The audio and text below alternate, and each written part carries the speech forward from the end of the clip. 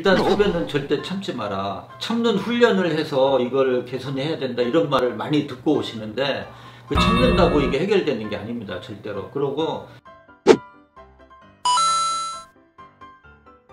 여러분 안녕하세요. 일중한년 송기정 원장입니다. 오늘은 저희 한의원을 찾는 환자분들 대다수가 느끼는 소변 증상, 즉 소변을 자주 보거나 시원치 않거나 잔뇨감이 있거나 급박뇨가 있거나 어, 이런 분들에 대해서 좀 말씀을 드려볼까 하는데요. 저희 환자분들을 제가 이제 치료하면서 느끼는 거는 전립선이 아주 뭐 정상인의 뭐두 배, 세 배 정도 돼도 소변을 아주 시원하게 잘 보는 분들도 있고 또 어떤 분은 전립선이 비교적 작고 건강한데도 소변 증상, 즉 빈뇨나 잔뇨감 등으로 일상생활이 불편한 경우도 있는데요. 이런 경우 무엇이 문제인지에 대해서 한번 말씀을 드려보겠습니다. 실제 이런 환자들이 많은가요? 그렇죠. 진료를 하다 보면 전립선이 분명히 문제가 있는데도 불구하고 소변 증상이 시원하고 어떤 불편한 어, 증상들이 없는 경우도 많이 있고 또 어떤 분은 실제 검사를 해보면 전립선을 아주 양호한데도 소변 증상을 느끼면서 전립선 약을 복용하는 분들이 있어요. 그런데 그 원인을 살펴보면 소변 증상의 주된 원인은 방광에 있다고 생각이 되고 실제로 방광의 어떤 용적이나 잔뇨량을 체크하면은 거기 이제 문제가 발견되는 경우가 많습니다. 그래서 방광의 어떤 기능 저하, 그러니까 이제 한방에서는 방광 기허라고 표현을 하는데, 즉 방광의 탄력성이 줄어들면서 소변 배출이 시원치 않고 조금만 차도 뇨의를 느끼고 아주 예민해져서 이제 이런 경우에 소변 증상이 나타나고요. 여성분들은 검사에서 이상이 없어요. 또 방광 위염증도 없고 뭐 어? 기질적인 질환도 없는데도 불구하고 소변을 자주 보거나 뭐 시원치 않고 잔뇨감을 느끼는 경우가 있는데 이런 거 역시도 방광 기능상의 문제지 어떤 검사상의 어떤 기질적인 문제가 나타나는 건 아니거든요. 그래서 저희 한방 치료의 강점이 그런 보이지 않는 방광 기능을 개선하는데 아주 강점이 있기 때문에 이런 분들 치료가 잘 되고 있습니다. 실제 이런 환자 어떤 사례가 있습니까? 네. 저 이제 특별히 기억나는 환자분이 한 분 계신데 남성분인데요. 50대 후반의 남성분인데 어, 서울의 아주 대형 병원에서 5년여를 치료했는데도 전혀 이제 개선이 안 되고 소변을 뭐 하루에 막한 4, 50번 본다고 할 정도로 너무 자주 가고 소변 양이 정말 뭐, 뭐 찔끔 나올 정도로 그 심각한 환자분이 있었는데 그동안에 약 복용을 한 거 보니까 뭐 근육이완제나 뭐 알파 차단제, 뭐 콜린제 뭐 이런 거를 주로 이제 복용을 하셨더라고요.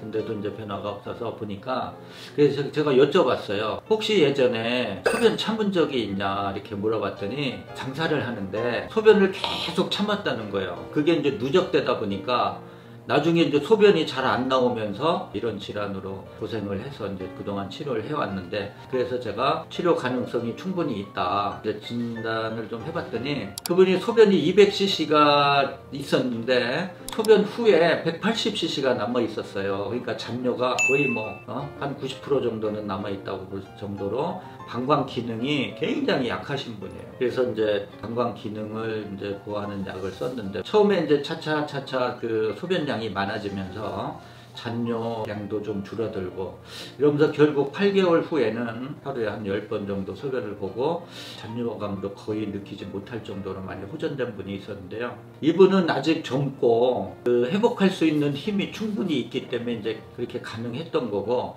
연세가 많을수록 좀 불리한 건 사실입니다. 왜냐하면 연세가 많을수록 그 기능을 회복하는데 시간이 더 많이 걸리기 때문에 이렇게 방광 기능이 약해지는 그 원인은 무엇입니까? 방광 기능이 약한 건 일단 선천적으로도 약하게 태어날 수도 있지만 그런 경우는 이제 어릴 때부터도 소변을 뭐 남들보다 좀 자주 간다든지 이제 이런 특징적인 그런 증상들이 있는데 어, 대다수의 환자분들은 가장 주된 이유는 일단 소변을 참는 겁니다.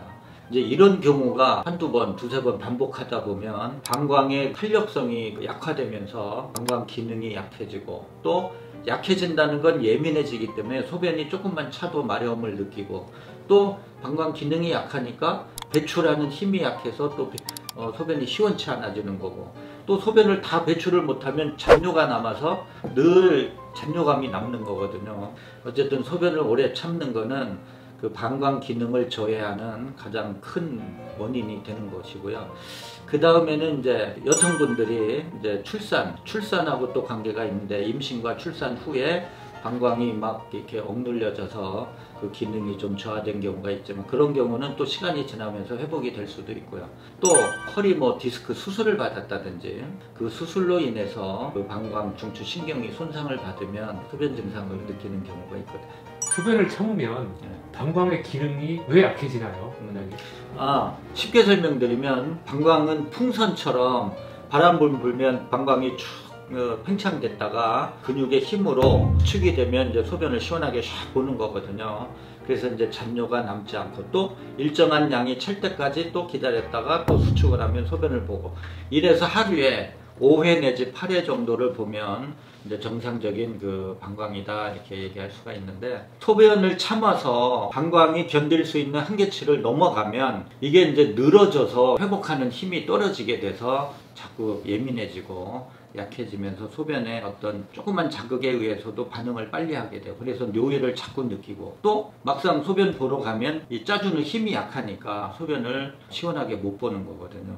회복하기가 쉽지 않을 것 같은데 이게 다시 회복할 수 있나요? 원장님? 그렇죠. 아까도 얘기했지만 팔다리 근육, 우리 이제 골격근이라고 하는데 이런 근육들은 내 의지대로 이제 운동을 통해서 뭐 단련을 하면 힘이 강해질 수 있어요. 그런데 이 내장 근육 또 특히 이제 평활근들 이거는 내 의지대로 움직일 수 있는 근육이 아니기 때문에 본인이 뭐 약해진 그 방광을 강화시키겠다고 훈련을 통해서 어, 강화되기는 어렵습니다. 그렇다면 우리 몸의 오장육부라는 기관들이 상호 유기적인 관계를 가지고 서로 보완하는 관계에 있기 때문에 그런 그 오장육부의 기능을 강화시켜주면 방광도 자연히 그 기능을 회복할 수가 있는 겁니다. 분명히 한방 치료 원리가 어떤 보하는 그런 약들이 있고 예?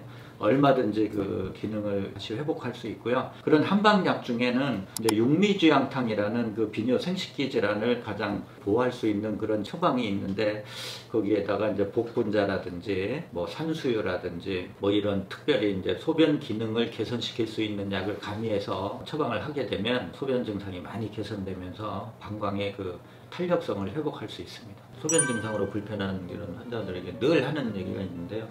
일단 소변은 절대 참지 마라. 참는 훈련을 해서 이걸 개선해야 된다 이런 말을 많이 듣고 오시는데 그 참는다고 이게 해결되는 게 아닙니다 절대로. 그러고 뭐 참을 수가 없어요 환자분들이 그 요의감을 계속 느끼기 때문에 그래서 참는 건 좋은 방법이 아니고요. 술이나 그 카페인 그 방광을 자극할 수 있는 뭐 자극적인 음식들 이런 것들을 삼가하고 또 아랫배나 이제 이 하초부를 좀 따뜻하게 해주면 그 복강내 순환이 잘 되면서 그 기능 회복하는 데 많은 도움이 되거든요. 이러면서 그 방광 기능을 치료할 수 있는 적극적인 이런 치료가 반드시 어, 필요합니다. 그 방광 기능 저하로 인해서 그 빈뇨라든지 잔뇨 그런 그 야간뇨 뭐 이런 걸로 고생하시는 분들이 그 나이가 나이가 들으면 자연적으로 오는 이런 현상으로 생각하지 마시고 너무 방치하지 마시고 적극적인 치료를 통해서 어, 일상생활에 편안한 삶을 영위하시길 바랍니다.